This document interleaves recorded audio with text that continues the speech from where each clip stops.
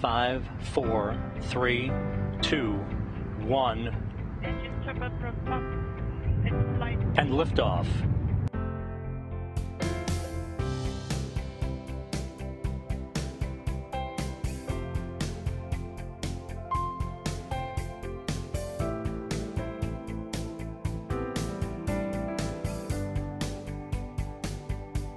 the orbital module, the descent module, and the instrument compartment. Each compartment has a different architecture and a specific purpose.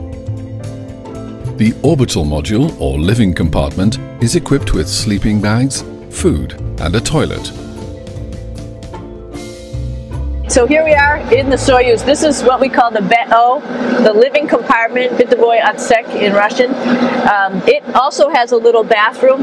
It's not as good as the other bathrooms, so we try not to use it too much.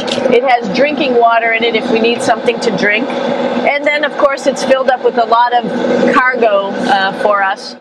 The instrument compartment, not accessible to the astronauts, houses the oxygen and propellant tanks, thrusters, the onboard computer, and a number of sensors. From the descent module, the three crew members monitor all information about the spacecraft and the ISS from ground data, the onboard computers, and an optical display of the view from a periscope mounted on the outside.